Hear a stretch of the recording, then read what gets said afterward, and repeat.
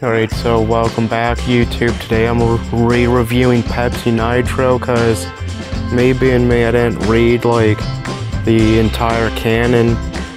Well, I was also told that I need to pour the the soda into a glass, so I have my glass here. I bought this um, glass in a four set like back in 2018 and before I quit watching the NFL, so here we go. It's leaking all over. Alright, so now I'm gonna pour it in.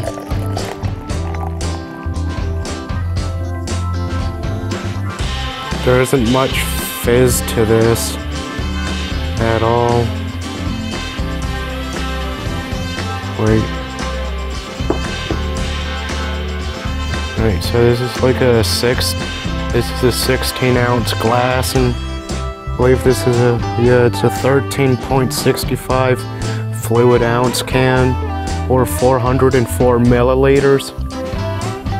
Alright, so now that I got the can dumped in, now it's time to re-review this drink.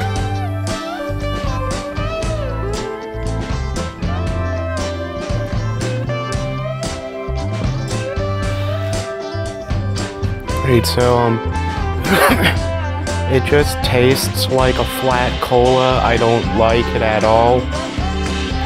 I want to go picking it up again, so I hope you guys enjoy. Oh, and also, I couldn't find like the vanilla one, like the other version of it, so I hope you guys enjoyed the video and see you guys in the next one.